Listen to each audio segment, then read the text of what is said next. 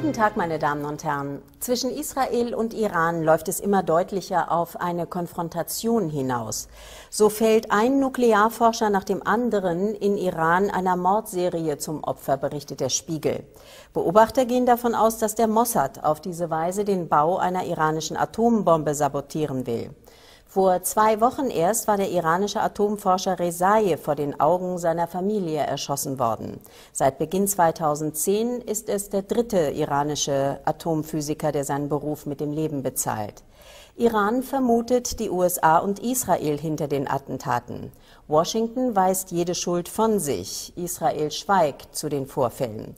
Wie Spiegel Online von einem anonymen Informanten erfahren haben will, soll auch der Ruf nach einer Bombardierung Irans, vor allem bei Offizieren der israelischen Luftwaffe, immer lauter werden.